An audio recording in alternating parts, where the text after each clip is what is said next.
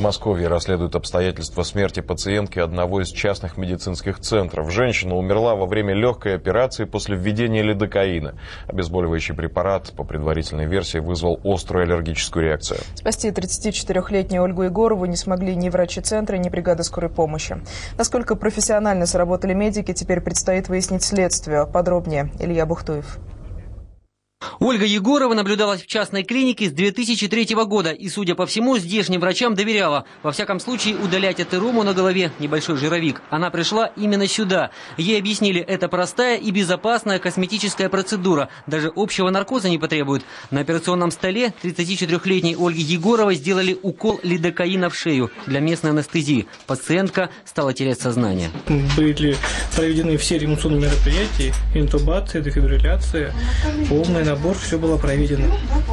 Вы вызывали скорую помощь? Вызывали обычную скорую, вызывали реанимобиль, все были.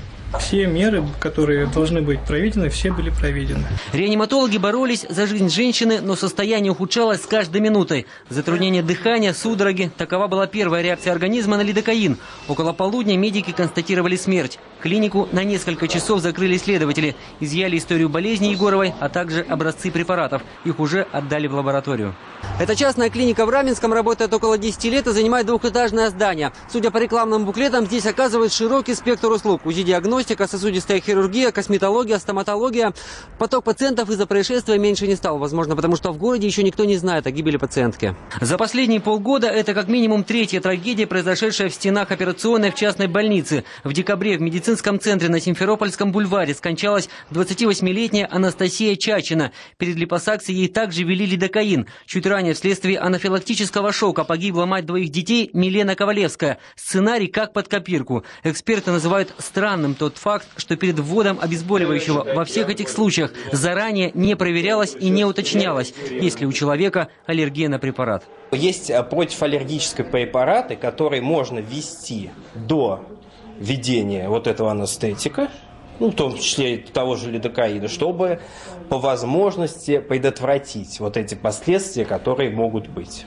Профессиональные хирурги знают, с лидокаином нужно обращаться крайне осторожно. Введение этого препарата в больших дозах может и вовсе спровоцировать остановку сердца. Перед любой анестезией нужна консультация врача-аллерголога. Но этим правилам в платных больницах, видимо, пренебрегают. По факту гибели Ольги Егоровой в Раменском возбуждено уголовное дело по статье «Оказание услуг, не отвечающих требованиям безопасности, повлекшая по неосторожности смерть человека». А сегодня утром клиника «Медина» открыла свои двери новым пациентам, как будто ничего не произошло. Илья Бухтуев, Рубен Миробов, Владимир Зинуров. Вести.